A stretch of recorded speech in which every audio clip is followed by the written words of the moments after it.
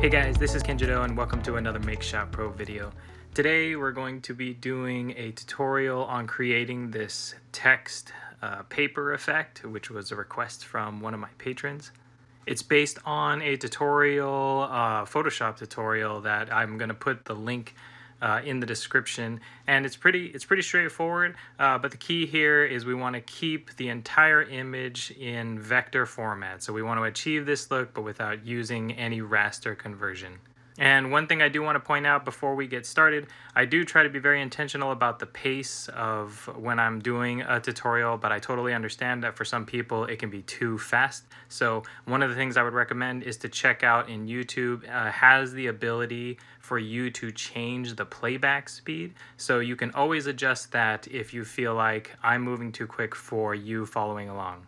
All right, let's get to it.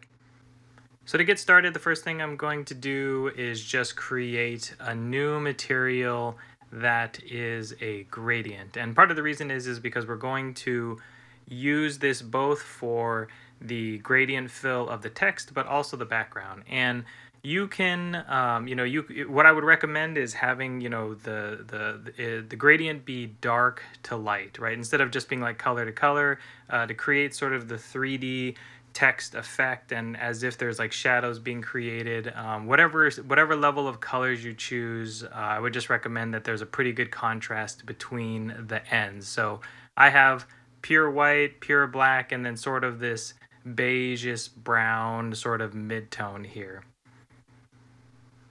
So with that selected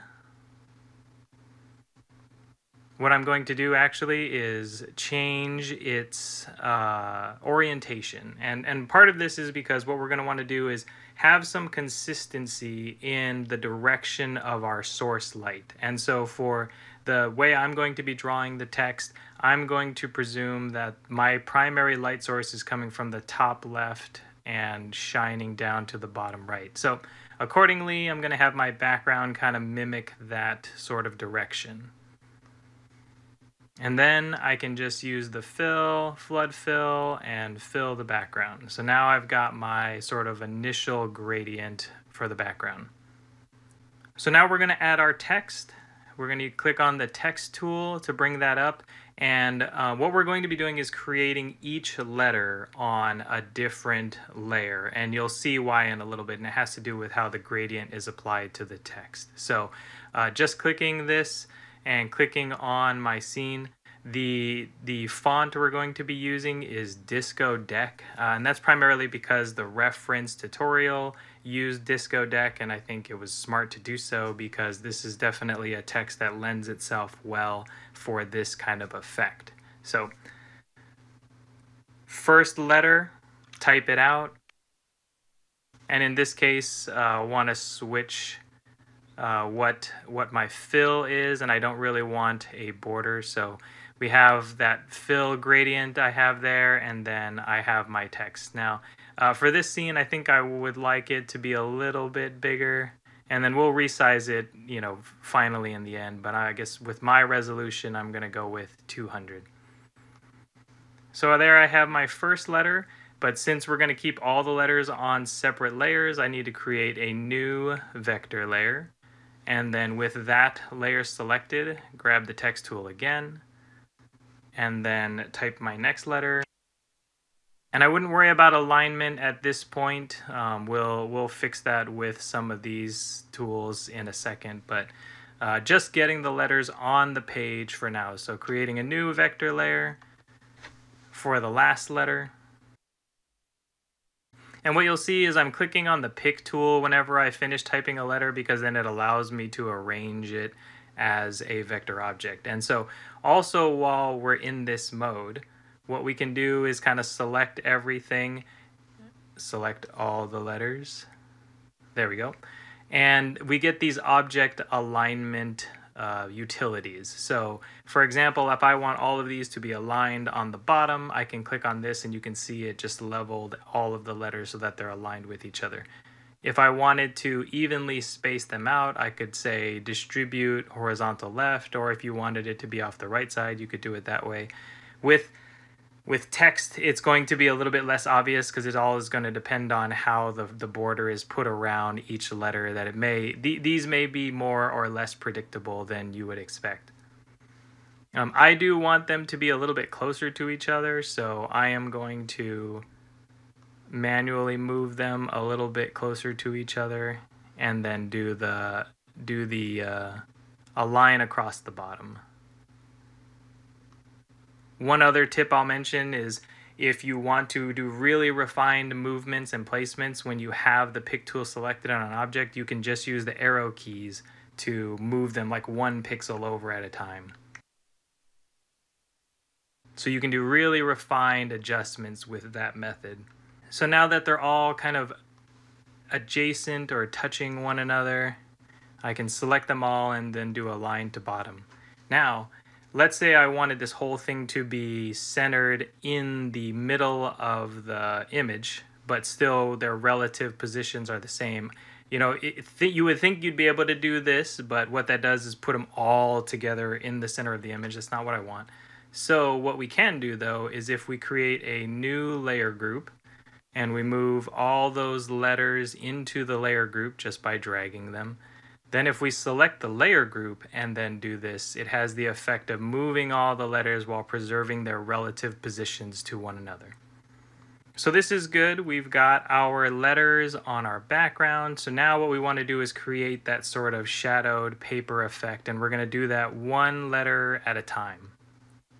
So starting with, I'll just start with the M actually, making sure that's selected. And then what we're going to do is go to the fill property. So what you'll notice when you have a gradient is there's a lot of different ways that that gradient can be represented. This like sort of diamond shape, the, the sort of circular shape, and then this interesting sort of gradient, uh, you know, arc arc gradient path uh, that's going on here. I always kind of wondered to myself, when would I ever use that? Uh, but in this particular case, this is the one that we are using, and somebody, some smart person came up with a really cool way to use that. So um, I don't seem to have the right gradient selected, so I'm going to...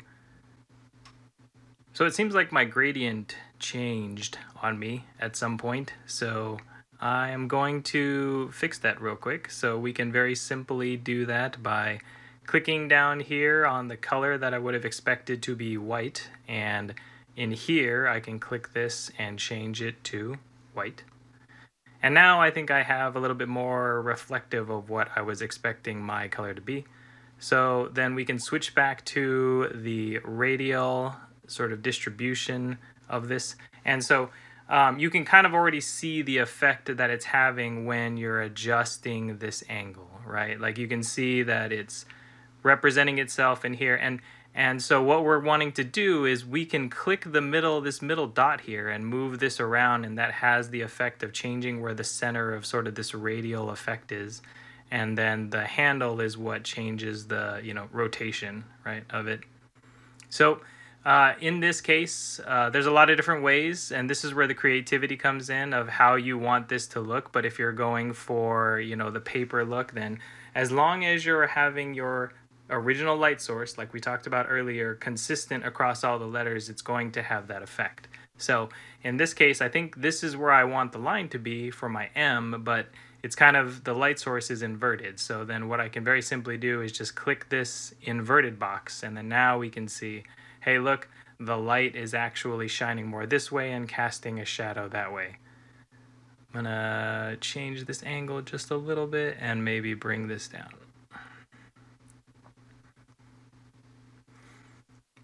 All right, so the M is done.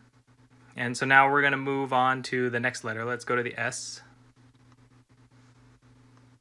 Perhaps by clicking on the specific letter and then clicking on its fill. So once again, now selecting my beige color again and radial, and then we'll want to move this over to see the effect of what we're doing. And so the way this kind of works is you you have to be a little bit specific for each one of your letters. Like the, the radial fill isn't going to be exact in all cases. So like in this case, I'm going to want this line to line up with the, you know, where the top of this S is. And then if we zoom in, then we can kind of see, yeah, so then this line here now like creates sort of like as if there's a shadow being cast on the lower part of the S. So then now we can move on to the P. Same approach, click on the fill color, maybe we'll leave this on this side, and select the gradient to use, change it to radial, and again, uh, just identify what you know, what angle is going to get you the effect that you're looking for? And then also, how do you adjust the the center point? So like in this case, you know, maybe maybe there is good and you can do refined adjustments with these dialog boxes here. Like if I want to increase, you know, again by one, I guess what it would call one unit, which seems to be greater than a pixel. So it doesn't in my opinion, it doesn't line up too well here in this case, but what I can do is just bring it down a little bit lower and then maybe adjust the angle slightly so that now it kind of lines up a little bit more and has that sort of curved look. So there we have sort of our radial fill applied to, our radial gradient fill applied to our letters. And it already is creating that sort of three dimensional effect. And what the other key part is everything is still vector, right? We haven't converted anything to raster to create any of the effects. So next what we can do to create even more separation between the letters is we can apply a layer style. And in here, I'm just going to choose like a drop shadow and let's turn on preview on image so it becomes a little bit more obvious. And I'm going to set these both to zero. Just so that it's more like the shadows right behind the letter and then maybe just increase its size a little bit, decrease its opacity. And that just gives the letter a little bit of separation with the background and maybe even the surrounding letters. So now we've got the M set, and now one of the newer features in Paint Shop Pro is being able to right click and say copy layer styles and then paste it on other layers. And that's essentially the effect, um, how you can create it in Paint Shop Pro. If you wanted to make all the letters a little bit larger relative to your scene, you can select the whole group and then drag it and then once again hit center on the position and you don't lose any fidelity because these are vector graphics. Alright, well that's it for me. If you have any questions or would like to suggest content, feel free to leave a comment. If you would like to get updates of new content that I post, click the subscribe button on the screen. And if you'd like to support me and the channel, check out my Patreon page, which is also shown on the screen. And I'll see you guys next time.